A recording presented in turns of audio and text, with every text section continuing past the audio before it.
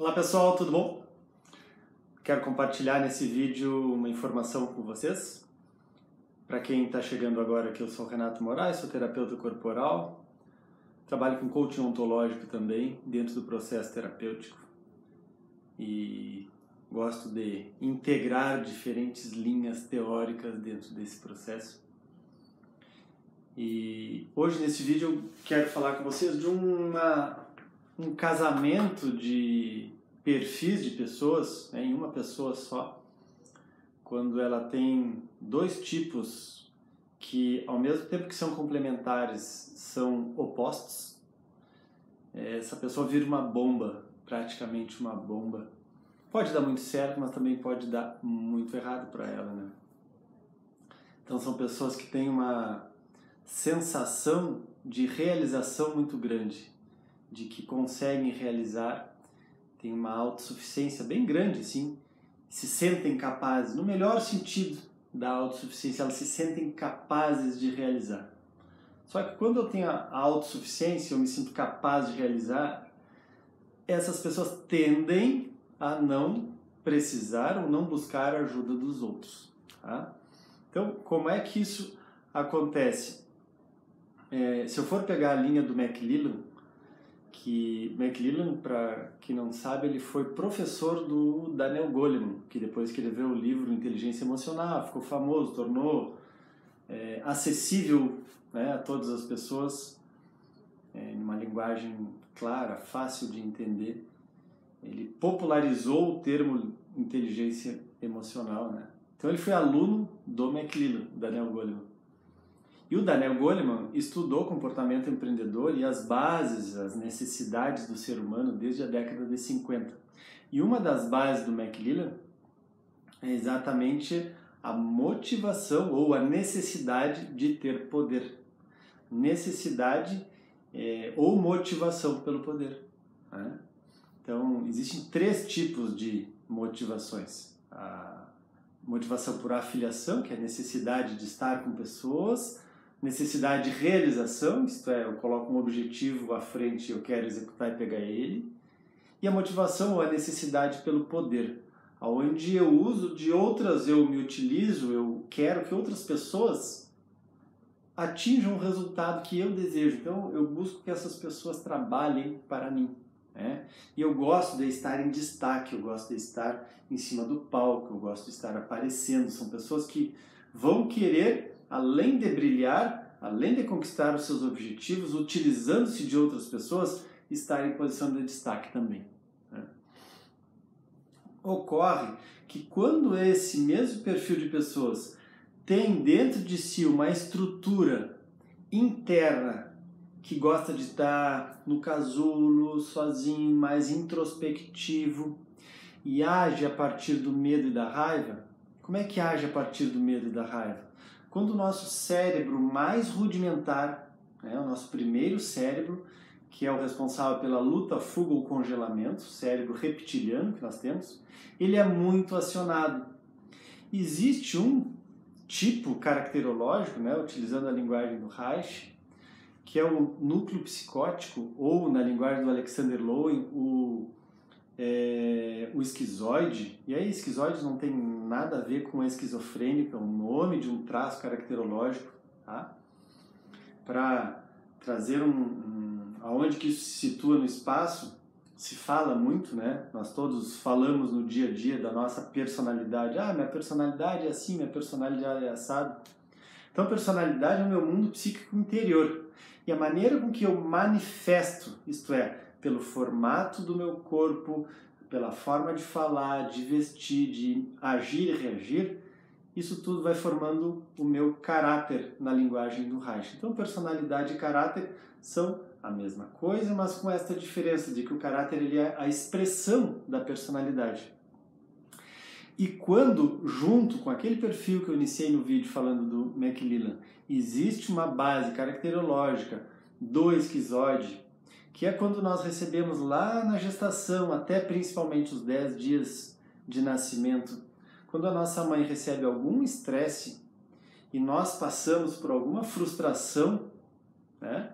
isto é, é, uma falta de oxigênio, uma falta, um excesso de é, é, cortisol ou de irritação ou conflitos emocionais que a nossa mãe possa ter, na barriga da mãe nós passamos por estresse. Esse estresse traz uma fixação nesse momento da vida, quando se está formando a nossa é, personalidade desde então, o nosso caráter desde então, tá?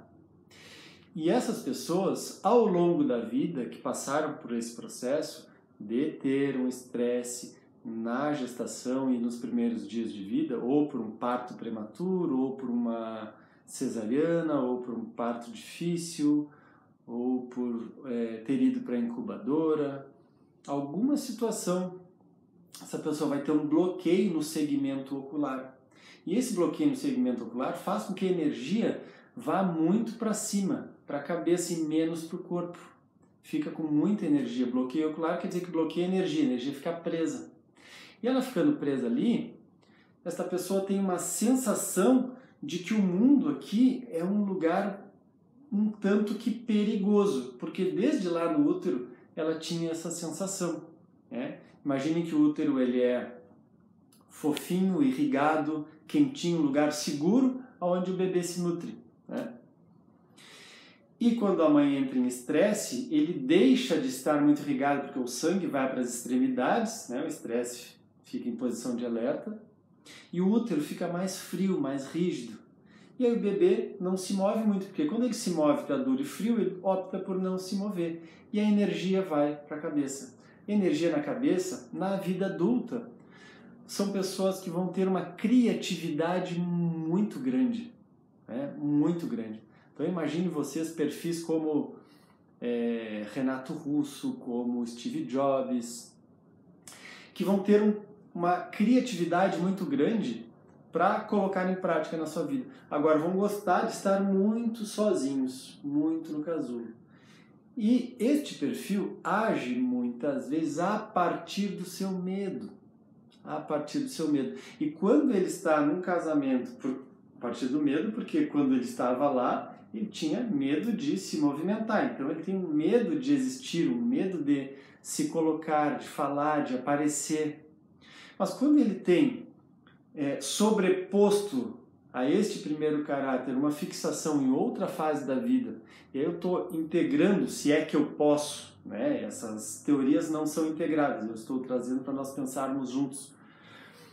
É, o perfil de pessoas que têm uma necessidade pelo poder, e aí eu traria na linguagem do Reich fálico narcisista, né, que depois o Alexander Lowen tem um livro específico sobre o narcisista também, são pessoas que vão gostar dessa posição de destaque, também vão querer fazer o que desejam às custas do que precisar fazer. Eles vão chegar onde eles desejam. É, narcisista, a palavra vem do mito de Narciso.